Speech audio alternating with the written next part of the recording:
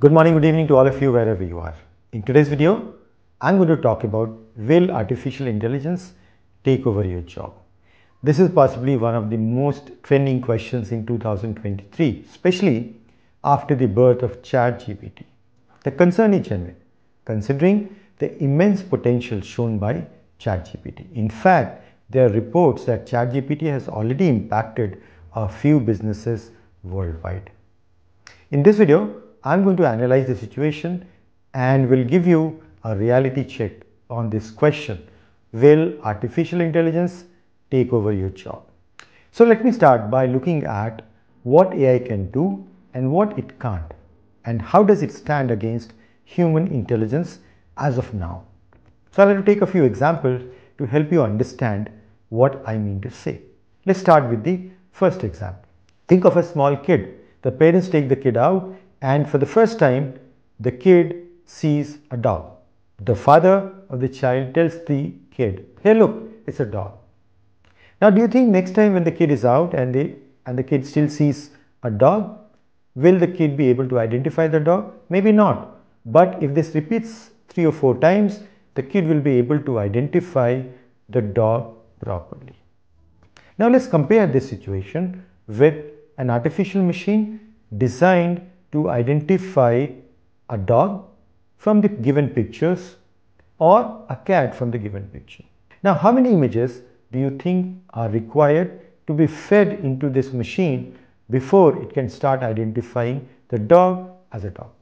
Let me tell you that this is going to take at least 1000 images before it can start correctly identifying. But that is dependent on many other factors. So minimum number of images required has to be thousands and above. Now, as you can imagine, in this case, human mind requires minimal amount of data to be able to recognize things, which is a cognitive power. It is also now able to take a decision by looking at an animal and say, yeah, it's a dog. Right? That is the first example to give you a difference between human intelligence and artificial intelligence. Now let's take another example. Consider that I'm a writer and I want to write an article about future of artificial intelligence. And in this article, I want to include three things.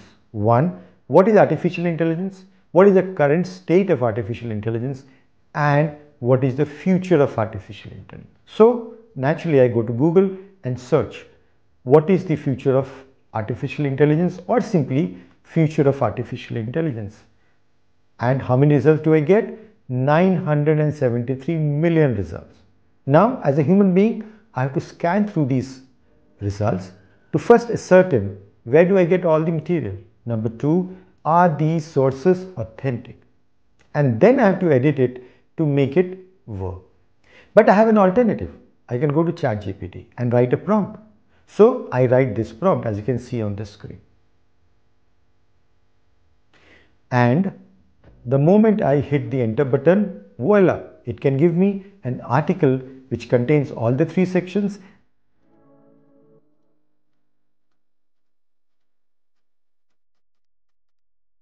and possibly in the way in which I would like to write it.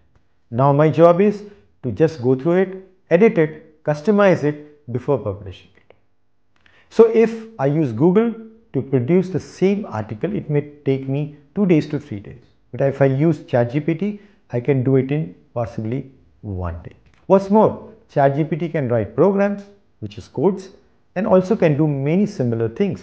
Artificial intelligence can also fully automate many manufacturing processes, as you can see in the video. As a writer or a factory worker or even as a coder, should I be worried that AI can take my job? The answer to this question can be best understood by the fact that there will be certain jobs which can be completely automated like you saw in the case of manufacturing process. But when it comes to jobs which are based on human intelligence, cognitive power and decision making abilities, AI is still not such a big threat. Look at the example of writing the article. ChatGPT was able to produce a fantastic result, but I had written the prompt. What it means that humans as humans, we can use AI to make ourselves more efficient at what we do.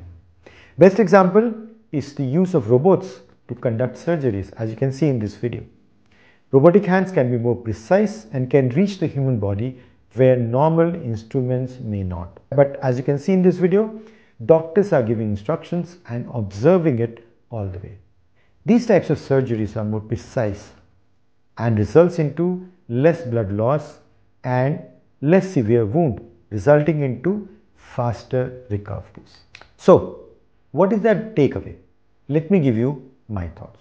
Point number one, there are going to be several jobs which can be completely replaced by AI machines and those workers have to be concerned about upskilling, reskilling so that they can be employed in jobs where AI cannot replace them completely. Point number two, it can definitely also partially replace several other things. For example, surgery, programming or even writing articles. But as you have seen, these jobs are not 100% done by the AI machines.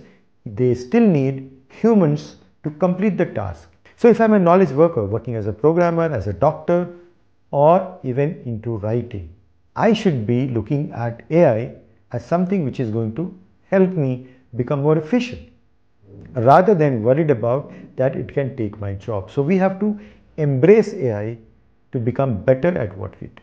Let me end this video with a quote. AI won't replace humans, but humans with AI knowledge will replace humans without AI knowledge.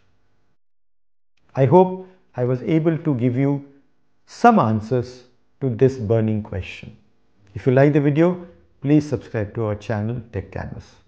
Thank you for watching this video.